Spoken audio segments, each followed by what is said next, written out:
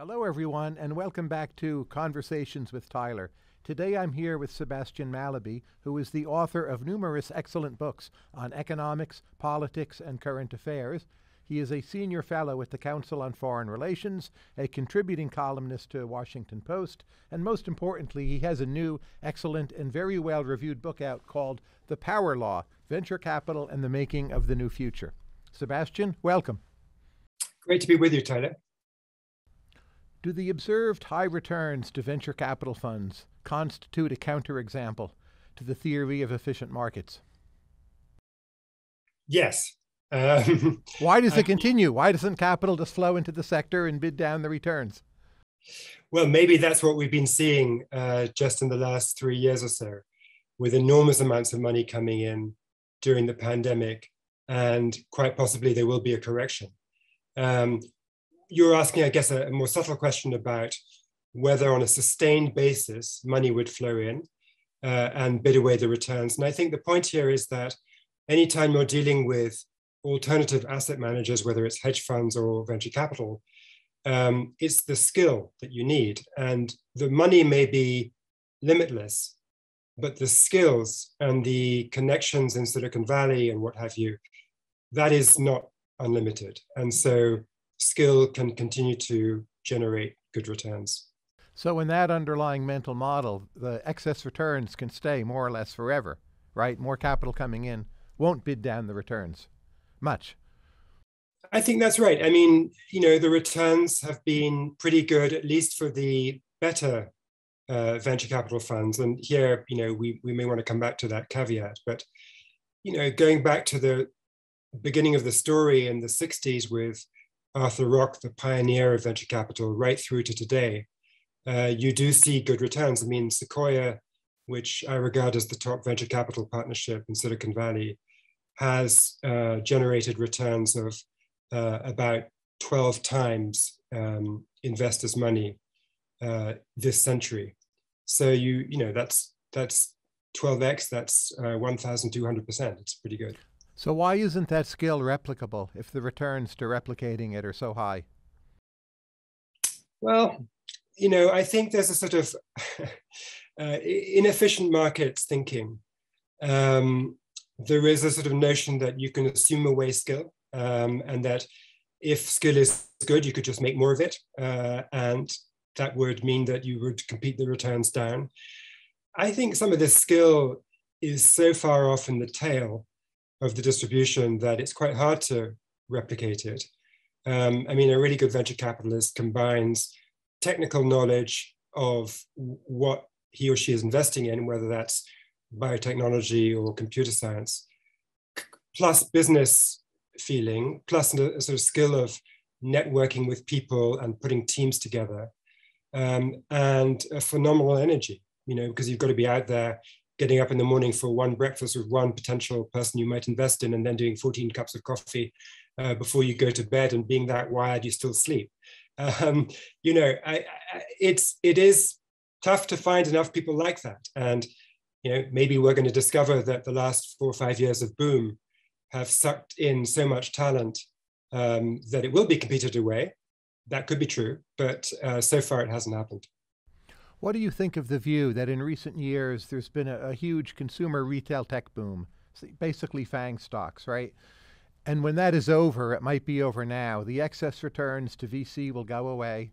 If you look at venture capital for biotech, which has been hammered lately as we're speaking here, late January 2022, and maybe venture capital is a limited model for one period of time, and otherwise it just does okay. True or false? False. Um, I say that because, in a cyclical sense, you might be right. But I think there's a deep structural uh, shift which is really important, uh, and that is that intangible capital has become more and more important in our economy. And the nature of intangible capital is that it's hard to measure it in financial reports. And so, to understand whether a particular software investment, for example, is worth a huge amount or really nothing, you kind of need to understand what that software development within the company is doing. And so you need to be hands on. You need to have the technical skills to evaluate that software project. Um, and, and, and that's, you know, the, the more that intangible capital rises as a share of new GDP creation, the more this venture style hands-on um, expert investing is going to be valuable. Your explanation, if I understand it, to me seems to suggest that venture capital for biotech won't work very well.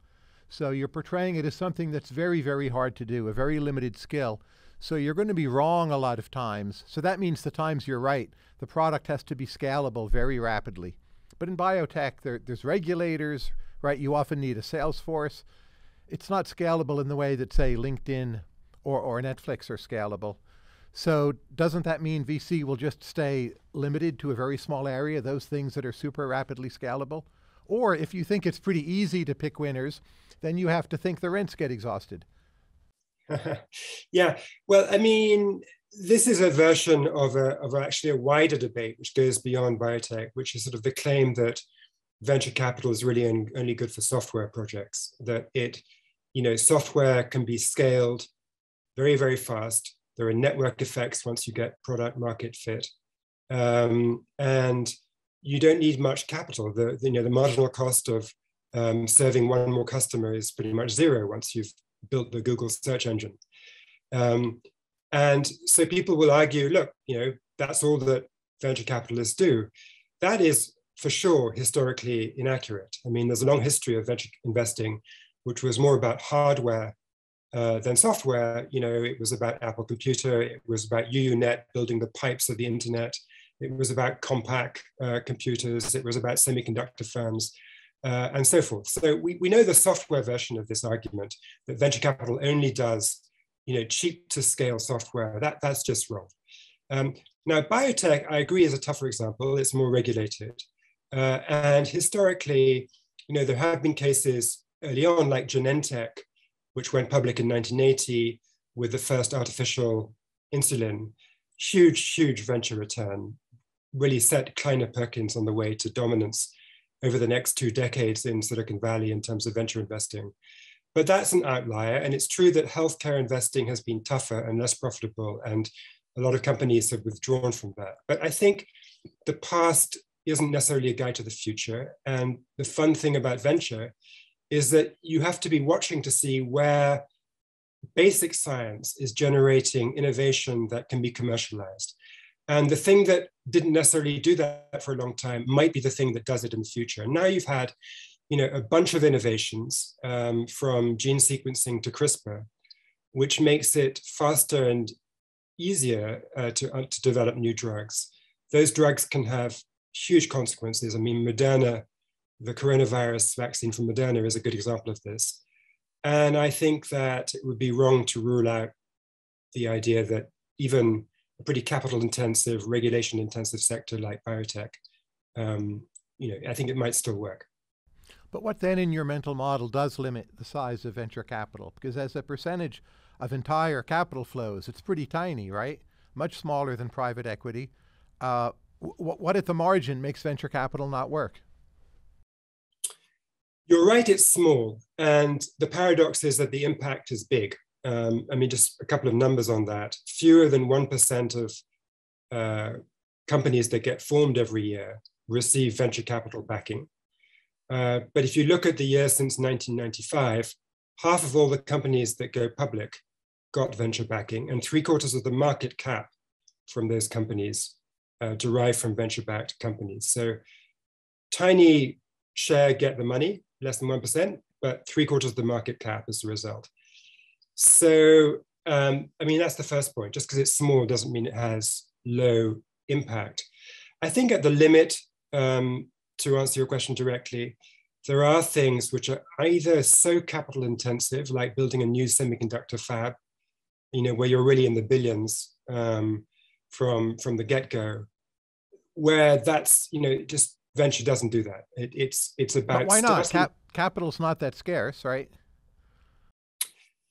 Yeah, I mean, venture's advantage maybe helps to answer why sometimes it has a disadvantage. So one of the advantages that is, is the idea of stage by stage financing. So you give the company a bit of money, and then if it fails early, it fails cheaply because you haven't given it a huge check right from early on.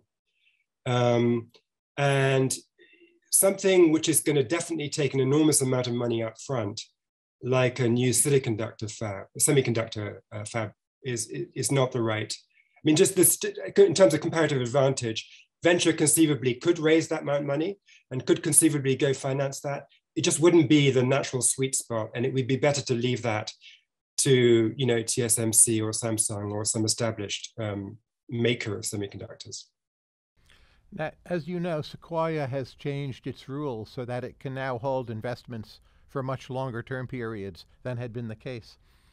Uh, if you extend this to its logical conclusion, you could imagine a future 10, 15 years from now where hedge funds, VC firms, a lot of other financial intermediaries are all blended mixes of doing varying combinations of, of similar things.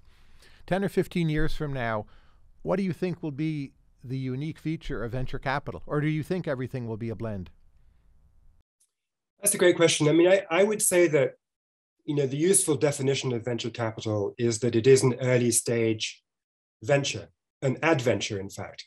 Uh, and when you get to investing in companies which are more than about $500 million in market cap, that's a different thing. That's growth equity. You know, I don't call that venture anymore. And the reason I picked 500 million as, as, a, as a number is that when Amazon went public in the late 90s, its public market cap when it IPO'd was, was between 400 and 500 million.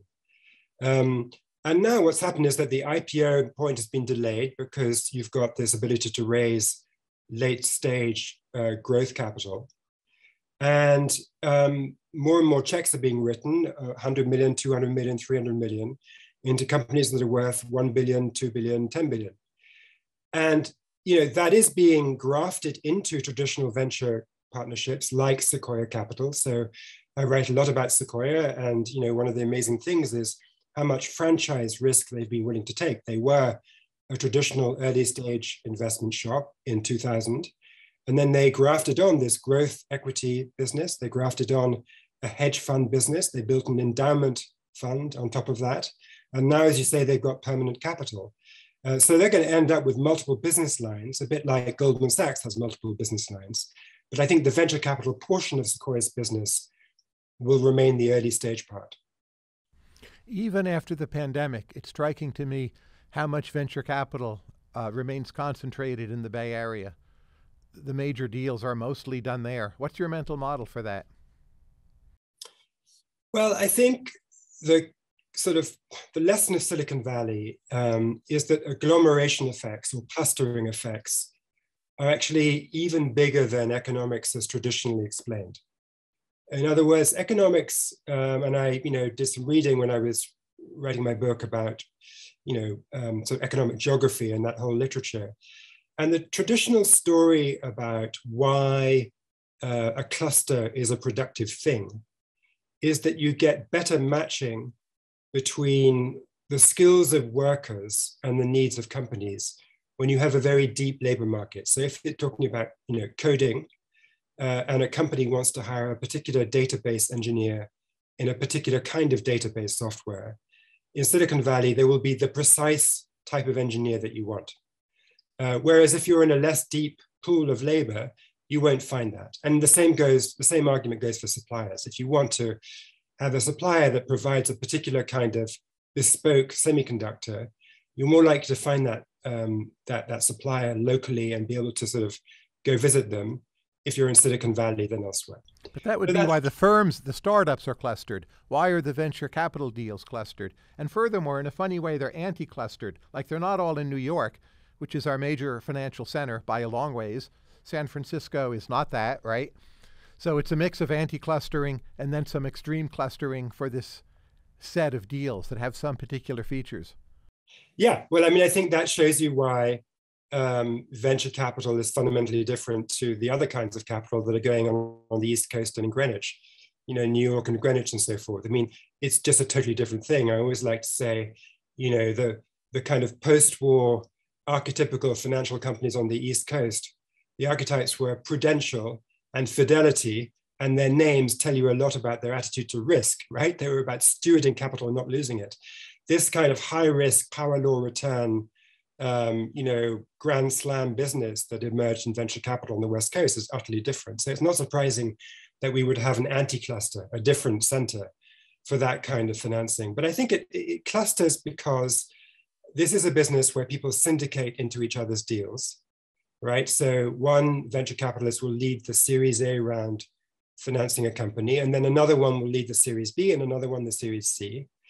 Um, often a single round like the Series C will have multiple investors in it.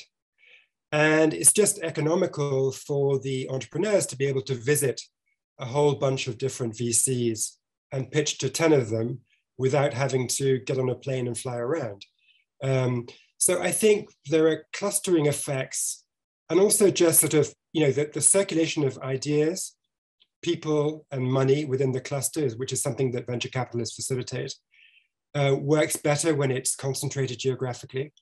And that's why, you know, at least until the last 10 years, um, when perhaps we've gotten to the point with Zoom uh, and remote work and so forth, where this is less true than it used to be. But I think the, the agglomeration effects were really very, very powerful. And venture capital needed to be clustered to be most effective. And that's why you got the Silicon Valley dominance. When is venture capital more effective versus when is angel investing more effective? Angel investing wasn't really a factor until the mid late 1990s. Um, once it became a factor, and, and it, that happened because just venture capital, I mean, sorry, Silicon Valley had reached a point of maturity where there were enough rich, exited entrepreneurs who had made money starting their own companies and then wanted to turn around and fund some younger people who looked a bit like them. Um, that's what happened with Google. Google could raise, you know, a million dollars in 1998 before going to any venture capitalists because angels had become a thing. One of them was Jeff Bezos of Amazon, another was Andy Bechtolsheim, uh, who had funded, uh, started Sun Microsystems sometime before. So um, once you get angels, then I think entrepreneurs are going to want to use them because they're kind of friendly. Um, they're typically people who know a lot technically and that you relate to, you look up to when you're a founder. And so I think angels are useful um, for the first round of money, the first amount of mentoring. And then when you get a bit more further along in your company, you want the Series A, which means more money, a more formal company structuring, uh, a more a sort of tougher, clearer sense of what your next milestone is that you have to reach, otherwise you'll be shut down. Then you go to the proper VC. True or false? Good CEOs make good VCs. Not always true. So, as a, as a generalization, I would say false. I mean, the premise of Andreessen Horowitz, um, the venture partnership set up in uh, 2009, was that to be a good venture capitalist, you had to be uh, an entrepreneur and you had to have run a company and understood what a startup is like from the inside.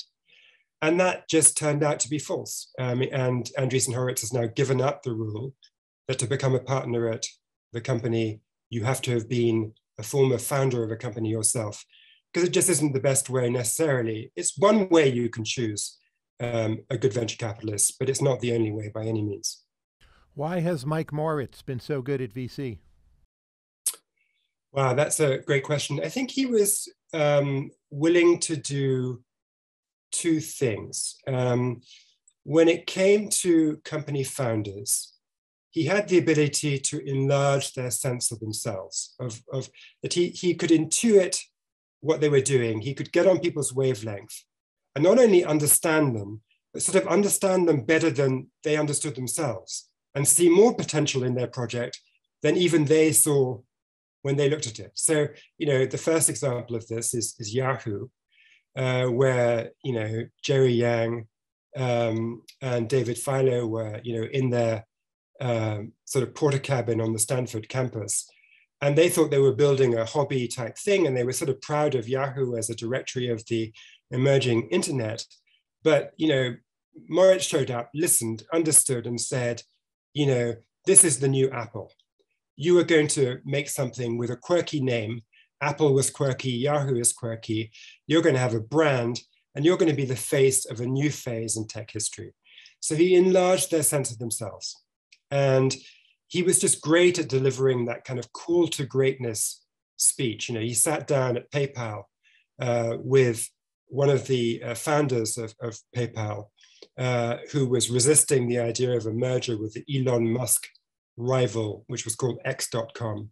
Uh, and he said to him, listen, you know, if you do this merger, I will never sell stock in the company and you will build something that makes history in the Valley. And that sort of call to greatness, you know, was inspiring. So that's one thing, that EQ to, to get the best out of people and, and, and make them be even more ambitious than they already were.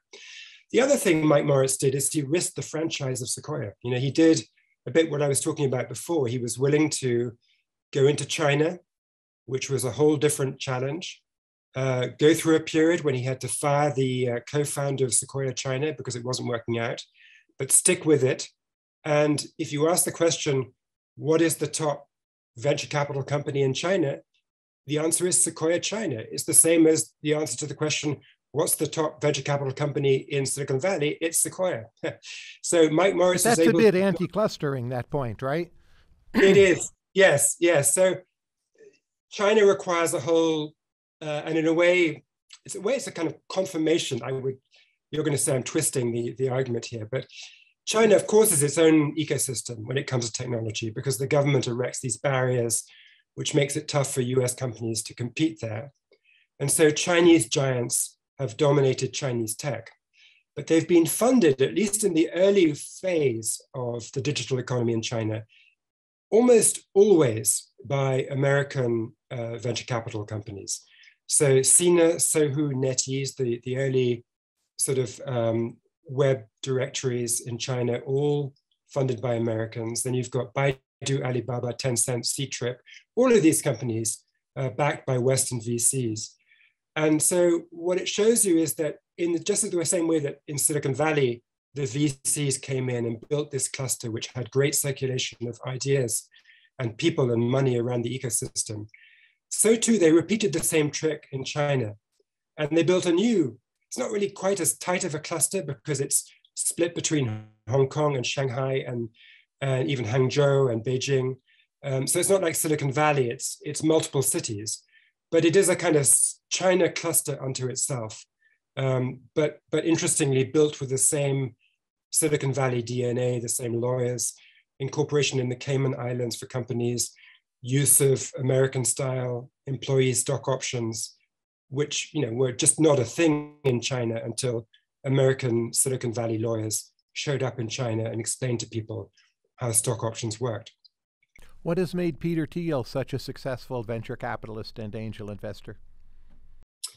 Peter Thiel is fascinating because he articulated um, more fully the idea of the power law uh, than anybody else before in, in venture capital. I mean, the early VCs I studied had the idea, they didn't call it the power law, but they had the idea that one or two bets in a portfolio of 10 would, would make all their money. Um, but Peter Thiel not only articulated it and took it further, but he then actually designed his investing and his company to, a, to even greater extent around that concept. So the logic of the power law is that if all of your money will come from a couple of outlier bets, you better bet on outliers. It's no good betting on something that looks normal because then everybody else will be doing a similar thing. You won't be differentiated. You won't have a moat around your company, and you won't, you know, you won't make supernormal returns. So Thiel's logic was, if you're looking for those really crazy, you know, 20x, 30x, 40x wins, you want to bet on people who are themselves a bit out of the box.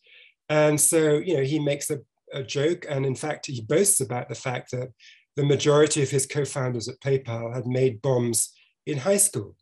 That Elon Musk, uh, one day when he was uh, driving him along Sand Hill Road on the way to a meeting at Sequoia, you know, trashed his um, supercar. I think I can't remember if it was a Ferrari or some other fantastically expensive car. You know, span it around, you know, ruined it, and was laughing his head off because he didn't have insurance. And this is sort of you know, that risk... strategy seems entirely replicable, right? Anyone can take a lot of chances on smart eccentrics. Like, what does Peter have that is not so easily replicable? Well, you have to be, you know, so, so a key point is even when you decide you're going to bet on on out of the box people who look as if they're in the tail, there's still a difference between smart bets on the tail and bad bets on the tail. And to make the smart bets, you do have to have a view and, and an understanding of where technology is going. Um, you've got to skate to where the puck will be, which means you have to think forward. You know, okay, so we've, you know, just think about Facebook, where Peter Thiel did this, you know, famous angel bet that that um, is probably one of the best bets in US venture capital ever. Um, so how did he do that? Well, um, he first of all was not put off by the fact that this was an eccentric 19-year-old Harvard dropout who wouldn't look you in the eye. Um, and that the business partner of this guy was Sean Parker, who had been fired by VCs from his past two companies. Um, so he had to look through that stuff. Uh, but he also had to understand that with the coming of um, you know, with, with, with the coming of, with, with the ubiquity of the internet, new kinds of communication would happen. And that this idea of social media, which had been tried and failed in other examples like Friendster, you know, just because it had failed a couple of times in early iterations, social media could still be made to work if you did it right. And, and that's what he bet on. And it was, you know, it was, it was still a long, a long shot bet, but, but it was a very high outcome bet if it went right. Have you ever been tempted to try VC yourself, and do you think you'd be good at it? You're smart. You know the history of venture capital quite well. Um, you know, no, I think because I enjoy what I'm doing. Um, it's true that whenever I spend five years on a project, which is how these how long these books kind of take me, um, my, my objective is to get into the cockpit with the people I'm writing about and fly around the landscape and really understand how the world looks through their eyes to explain their thought process to people. And so I wind up trying to think like them. Um, and my critics would say, I write as if I was one of them, and I'm not critical of, of, enough of the subjects I'm trying to write. But you know, my feeling is there's enough anger and um, you know mistrust in the world. I don't particularly want to add to that, but I would like to add to understanding. So I, I'm happy to be, you know, to plead guilty to trying to get into the skin of the people I'm trying to write about, but it doesn't mean I want to be them. Ultimately, I'm happy uh, being a writer. Well, you're happy. They might be happy doing something else. Uh, Mike Moritz was happy writing about soccer, right? He has a book about Alex Ferguson. But what's the non replicable feature that, that they have and you think you don't have? Um, well, look, I think it would be helpful to be uh, more technical than I am. I mean, most VCs uh, have an engineering degree or something, or if they don't have that, they but know. Peter Thiel's not very technical in that sense, right? And he's one of the very best. That's true, and Michael Moritz also fits yes. that that model. Yes, so there are clearly um, exceptions. Um, you know, Peter Thiel had started PayPal uh, before he became a venture capitalist, and I think that was important.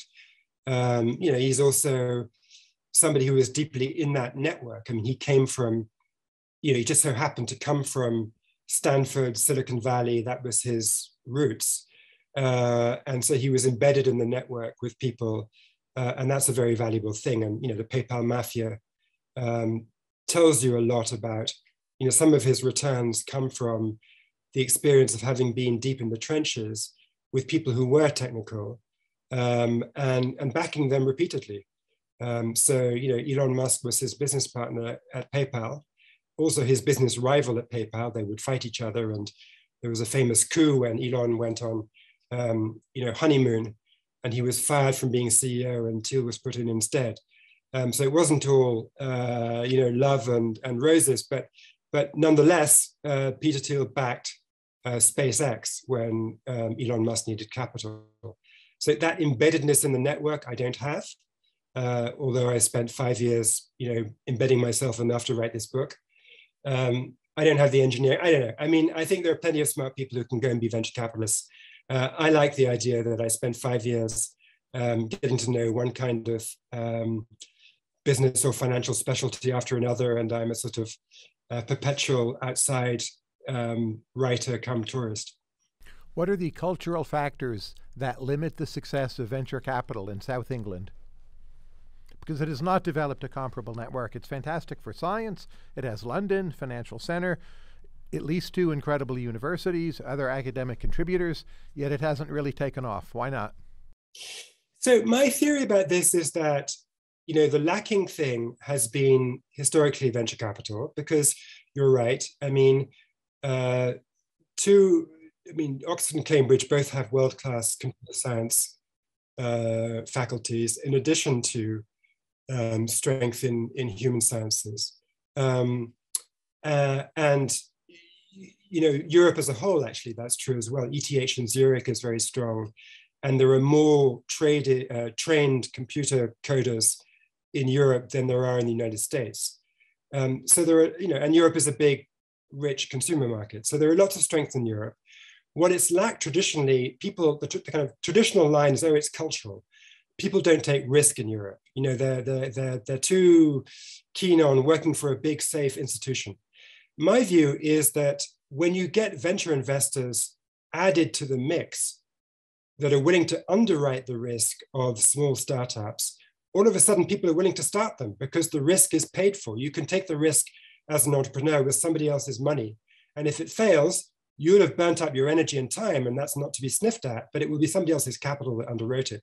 Furthermore, you will be helped to hire good people to help you because a venture capitalist will be on your cap table and will use its brand to bring in good people. I'm always struck by the story that Eric Schmidt uh, told me about why he joined Google as chief executive, which was a very risky move. He'd been, you know, Schmidt had been um, chief executive of another company, Intuit, before, and he was joining Google that was controlled by these two grad students um, who were notoriously, you know, ornery and contrarian and might fire him and didn't particularly like people who were over the age of 30.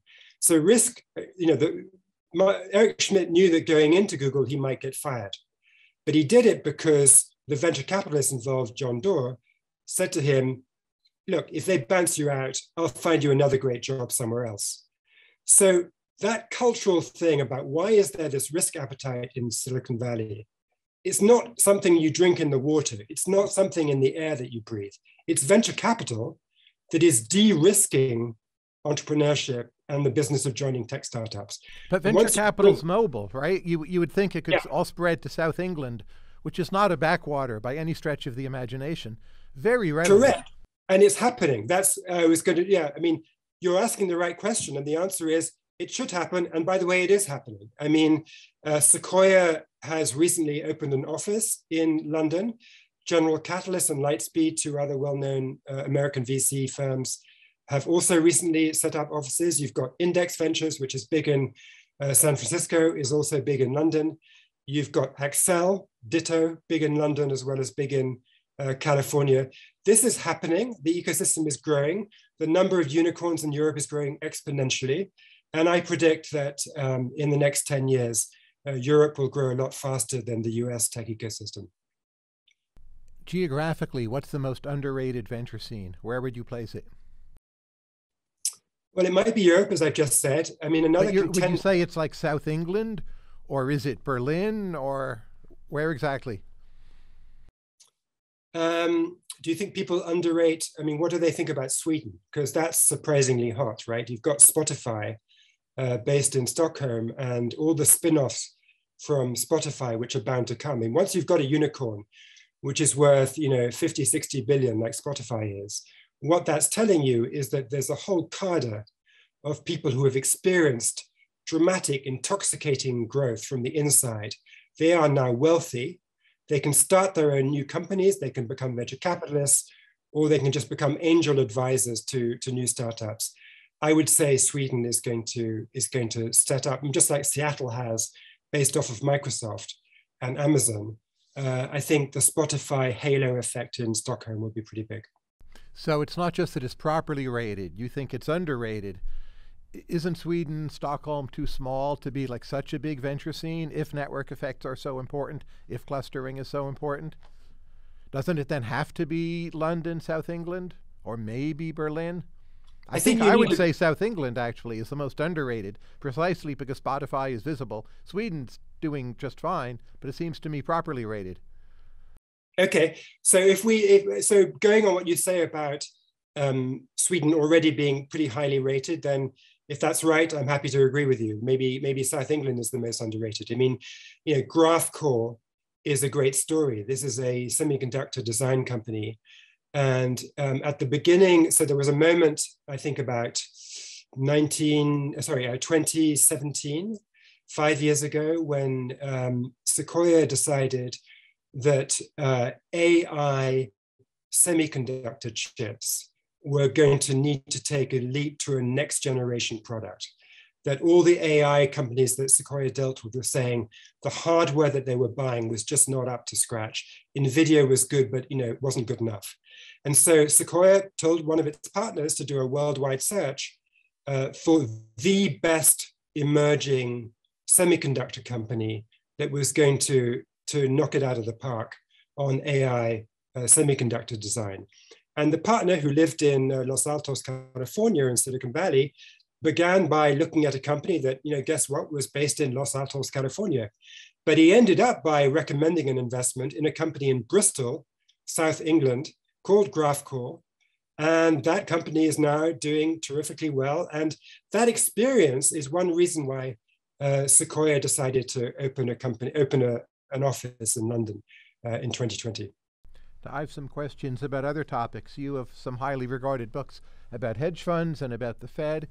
In the late 90s, the bailout of long term capital management, was that a kind of original sin that just set us on a path of bailing more things out at higher and higher price tags? Should we have just let LTCM fall? No, I think the original sin was continental Illinois much earlier in 1986, I believe, when the Fed you know, bailed out this bank, um, which it thought was too big to fail. Um, I'm not sure it really was too big to fail, but it was a moment when the Latin American debt crisis was still casting a shadow and the banking system was perceived to be fragile, and the Fed just wasn't willing to let it go. That was the original sin because taxpayer money was used to bail it out. The interesting thing about long term capital management, which people forget, is that the Fed convened the creditors of long-term capital management at the Fed offices in New York, but it refused to provide any taxpayer money whatsoever uh, to backstop long-term capital management. Um, and that was salutary. And I think if you look at what happened in the 2008 crisis, actually hedge funds were not driving the crisis um, because the prime brokers who extend um, leverage to hedge funds learned the lesson from LTCM and they didn't uh, extend loans without taking good collateral. And so, in actual fact, hedge funds turned out to be the relatively more stable part of the system in 2008, which was a time when insurance companies and investment banks and money market funds and commercial banks and all of these other players cost the taxpayers billions uh, and hedge funds didn't. What is it you understand about Alan Greenspan, having written a whole book about him, that other intelligent, educated people do not? I think the key thing um, was the sort of behind the title I chose the book, The Man Who Knew. The key thing was that uh, Alan Greenspan had written a PhD thesis, mostly comprised of papers he wrote in the 1950s. Nobody had found that thesis until I found it. Uh, and when I read it, what it told me is that in the 50s, in other words, right at the beginning of his professional career, Greenspan's obsession was with market bubbles, stock market bubbles. And he was really preoccupied with the way that uh, bubbles could drive uh, recessions in the real economy. Uh, balance sheet effects were at the core of his PhD work. Now, once you understand that, um, it tells you that Greenspan failed in his own tenure at the Fed to prevent the mortgage bubble, from inflating. He failed not because he didn't understand about balance sheet effects. He knew about balance sheet effects. He was the man who knew. He knew more about them than most of the critics who suddenly discovered in 08, oh, balance sheet effects. Gee, we better go read Hyman Minsky. This is a big deal. Greenspan knew about them and, let, and yet he let the bubble go wrong. What does that tell us? It tells us that the institution of the Fed was sort of trapped into a position where inflation targeting had become irresistible. And they just targeted inflation and paid no attention to asset bubbles. And I think that was a big mistake. How is Jerome Powell doing?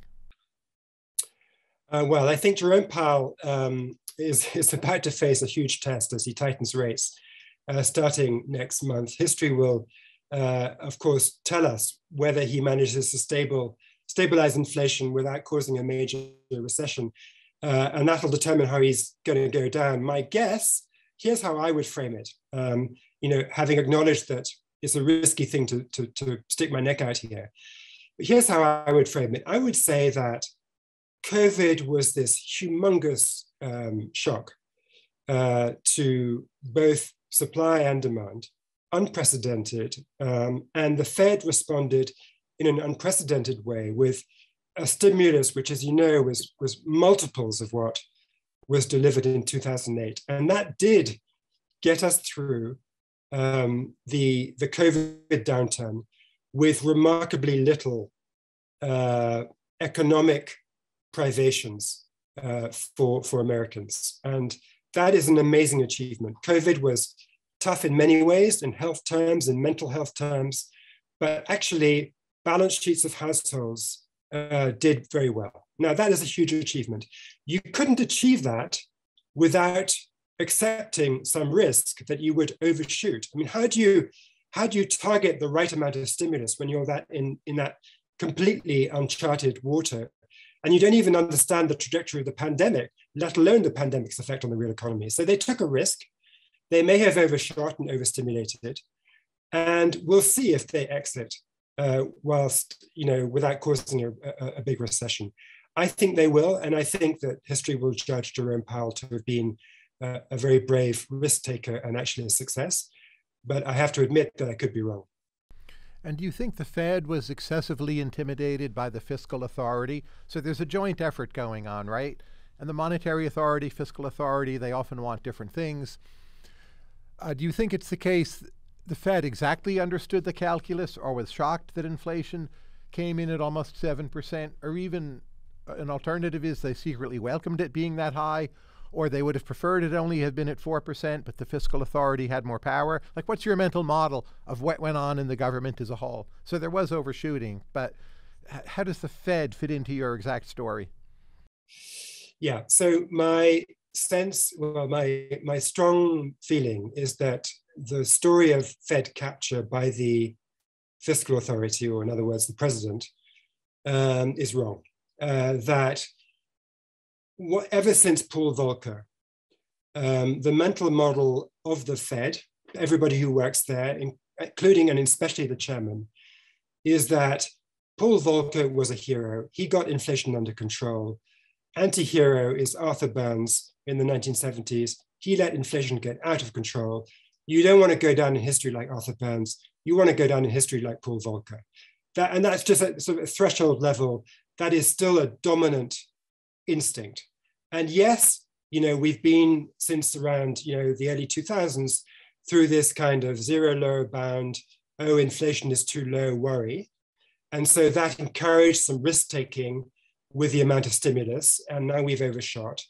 Um, but I still think the dominant mental model is don't be Arthur Burns, be Paul Volcker. And no amount of pressure from the executive branch would uh, wipe that out.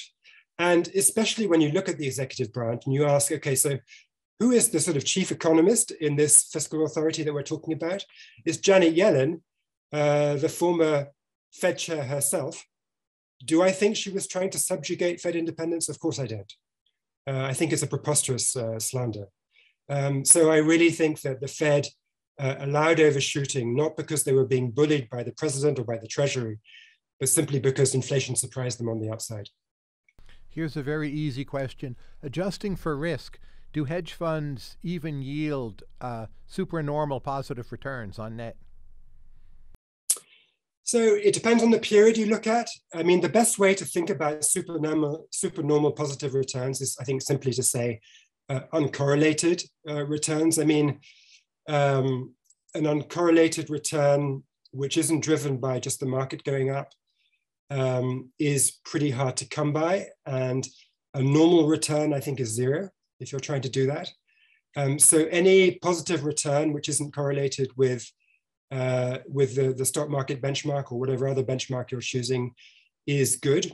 Uh, and in terms of a big diversified pension fund or endowment portfolio, will help your Sharpe ratio because it's giving you some extra juice to your return whilst without adding to risk because it's not a correlated position. And so when you net out the volatility of your hedge fund exposure with all your other exposures, it's actually volatility dampening. That's the idea. Uh, so do they produce alpha is the question. And when I published my book in 2010 about hedge funds, the best research at the time said that net of fees, there was positive alpha and it was 3% a year between 1995 and the late 2000s. That was a pretty strong positive number. I think since 2010, the positive number has declined to be much, much smaller and maybe even to disappear in some time periods. I think that happened because of quantitative easing if you think about um, hedge funds, you know, what is it that they do? Um, they get paid to assess risk and price it.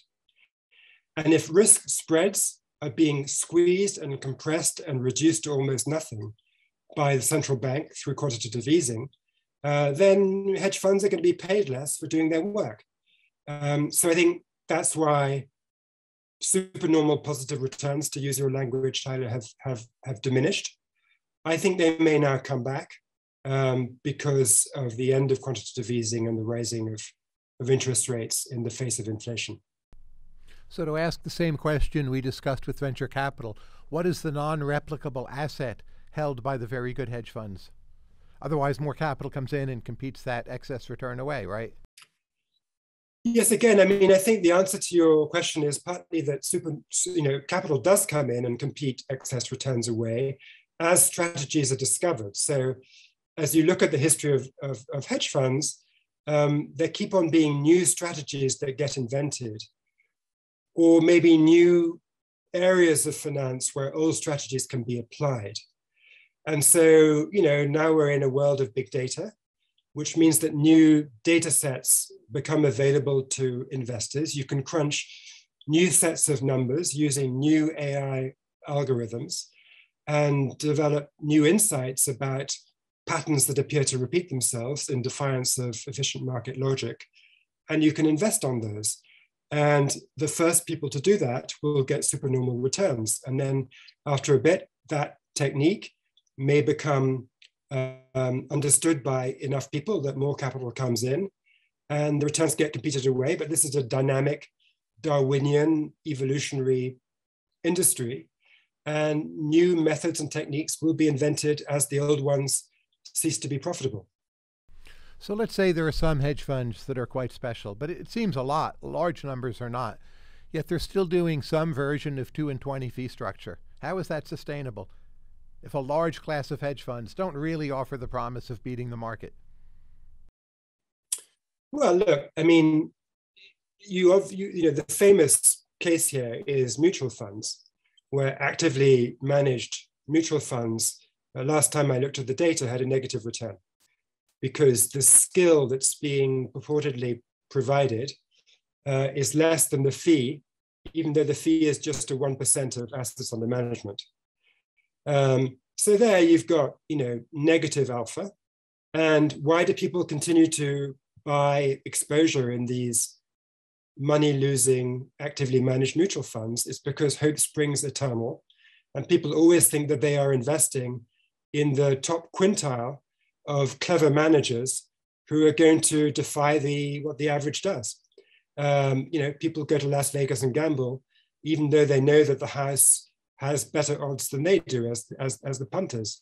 So I think, you know, at a basic level, it's not so surprising that people continue to invest in uh, actively managed hedge funds because they're a better option than actively managed mutual funds. And the same would be true of actively managed uh, venture capital, by the way.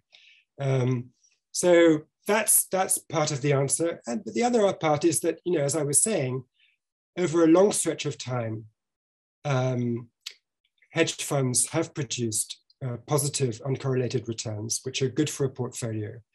The common way that this gets reported in newspapers, which is to say, look, the S&P went up 15% last year and hedge funds only returned 4%. So hedge funds are a bunch of losers. That is financially illiterate um, because you're not comparing apples with apples. You need to compare, you know, what the alpha was in the two sets of strategy. And by definition, the alpha in the S&P 500, the S&P 500 is the benchmark. So it's a correlated return and the alpha was zero. What's interesting is to get some uncorrelated return that then dampens your volatility in the rest of your portfolio because much of your portfolio will be correlated with the benchmark. And if you can get this uncorrelated return, that will dampen the rest of your volatility, improve your risk adjusted return in your total portfolio, and, and, and make your portfolio better. How did Ray Dalio become so rich? You know, between us, I mean, I know this is a podcast, but I'll use that expression anyway. Between us, um, Ray Dalio, the man, in my estimation, um, you can't answer that question. Um, I, I, feel sometimes when I listen to him that half of what he says is obvious and the other half is nonsense. Uh, to the point where, you know, it becomes a parlor game to look at his Ray Dalio's principles and say, you know, gee, if you see an open door, walk through it. And was that the way you built the company? I don't think so. Um, so I think if you want to understand why Bridgewater did well for a long time, although it's done less well recently, it's not about him. It's, it's not about the man. It's about the machine he built, right? The machine um, just, you know, patiently built uh, a research organization that uh, carefully built its own model of how markets worked by scraping data, producing, you know, very precise, clear um, studies of relationships. One variable does this, the other one will, will do that. When you aggregate that knowledge base over time, you build an investment black box that really did work for, for quite a stretch. Um, and I think, you know, based on my conversations with uh, people who worked for Ray Dalio, um, I come away a lot more impressed, frankly, than I do by the public relations stick I've heard from him in the last five or 10 years. As a writer, which topics in finance and investing do you think are undercovered? Hmm. I think actually that investing, if you go at it from the perspective of, you know, how does this really make money? what is the source of alpha? I think that in general is a bit undercovered. I mean, the starting point amongst um, a lot of academics, as, as your questions in a way have been telling us is, you know, there shouldn't be any returns. Alpha should be impossible to, to generate. To understand how it is generated is difficult. It requires a lot of getting close to the subject, getting close to the people who work for the subject, sorting through the nonsense, as I've just tried to do in my answer about Bridgewater. Um, and I don't think that many people, frankly, have the time to spend five years on one topic and, and try to provide an answer. And so that's how I've tried to differentiate is to is to make five years of time to go look at a specialty and and I hope that is an undercovered thing uh, and therefore that I'm adding value to the to the books which are on the bookshelf. Putting aside family connections, your wife being editor of The Economist, but what is it in media or journalism you're especially bullish on? Is it Substack? Is it old style MSM? Is it whatever? Um, I'm a big admirer of uh, The Information, which is a Silicon Valley media startup. It's been going about 10 years.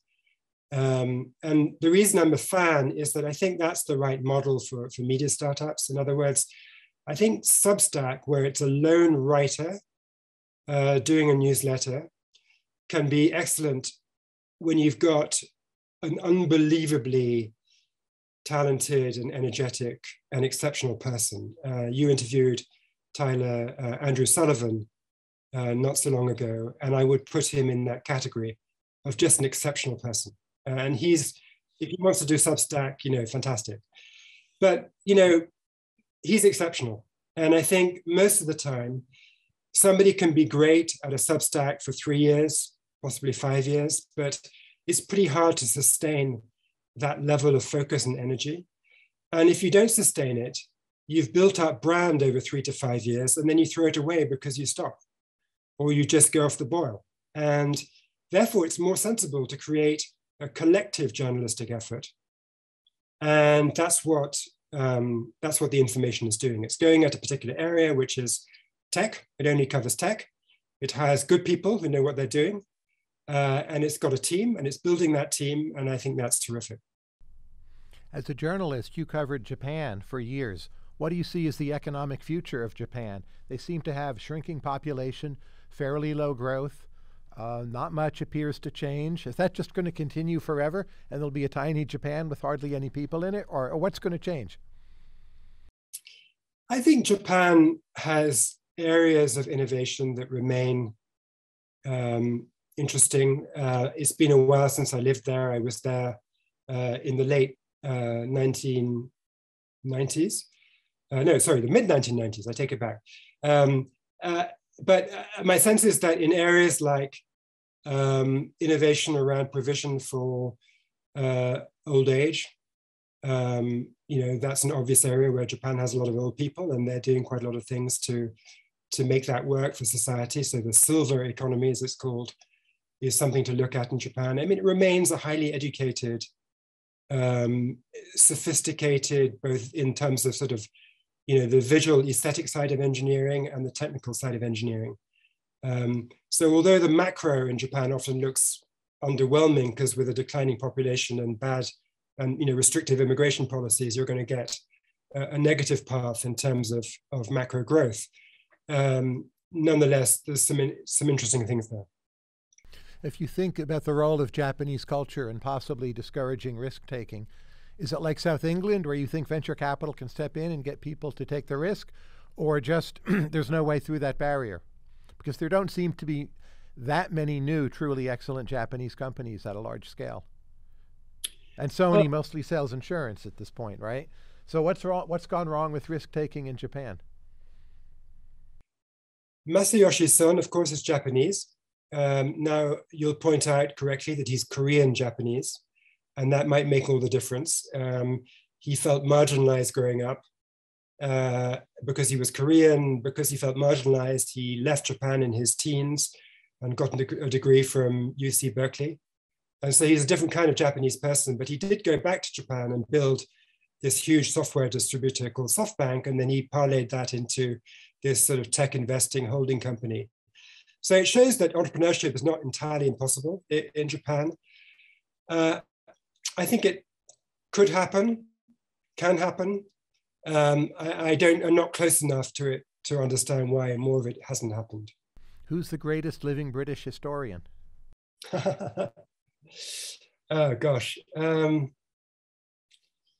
that is a great question. Um, I would say uh, the most entertaining is Niall Ferguson.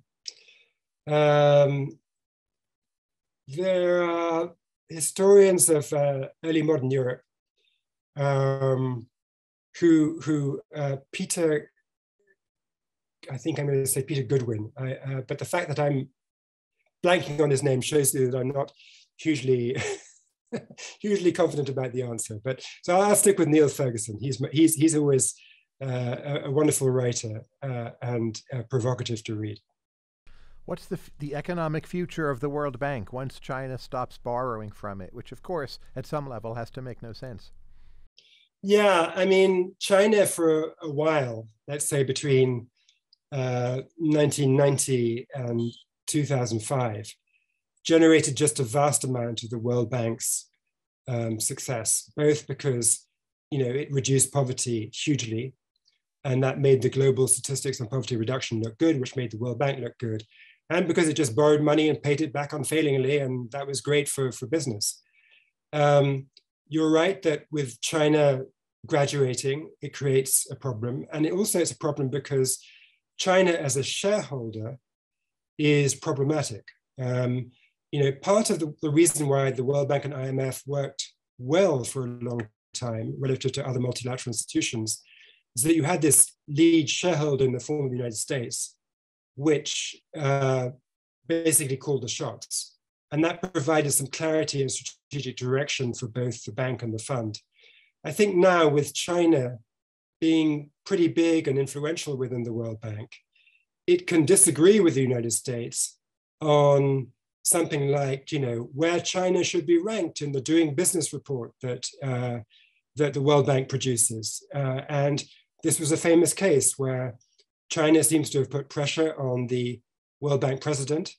And as a result, or indirectly, or something, we don't exactly know, uh, China got re ranked in that uh, ranking of where to do business. And so that's the kind of thing that undermines the World Bank credibility. So China is problematic, both because it's graduated and because it's a tricky shareholder. Um, and I think that it needs to find its way. And until the US China economic relationship goes better at a macro level, the World Bank risks becoming the UN Security Council, where the P5, the veto wielding big powers, were at loggerheads on great power politics and therefore just froze the UN and couldn't agree on things. So, if you could pick someone now to head the World Bank, unconstrained, whom would you pick and why? Well, that's a, another great question. I think you need somebody who's who would be good at this uh, great power politics. I think Bob Zoellick, when he was head of the World Bank a few years back, was a good choice because he was an American, but he was also close to China and understood China. Um, if you had to pick somebody now, I guess you would go down the list of um, Americans who have been ambassador in China, or maybe vice versa. Um, but uh, I think it would it would take somebody like that who has who has the stature. I don't have a name that pops into my head, but that's but a young young Bob Zoellick is what you want. Young Bob Zoellick, yeah. Why does classical liberalism seem to be dwindling today? Admittedly, you may choose to challenge the premise. But many countries are going in reverse. Democracy is not more popular. There seems to be less tolerance of other people's ideas. What's going on? What's your most fundamental account of that? I think there's, you know, there are lots of strands to this debate, and I would just highlight two of them uh, as to sort of set up my answer.